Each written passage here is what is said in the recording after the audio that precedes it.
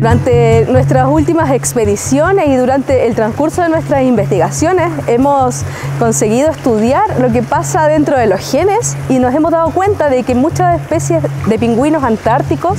eh, se encuentran adaptados al ambiente antártico, por lo tanto no pasarían frío ya que nosotros hemos encontrado muchos genes que estarían relacionados con, por ejemplo, la formación de tejido adiposo o regulación de otros procesos metabólicos que los ayudan a contrarrestar todo este proceso de enfrentarse al ambiente polar.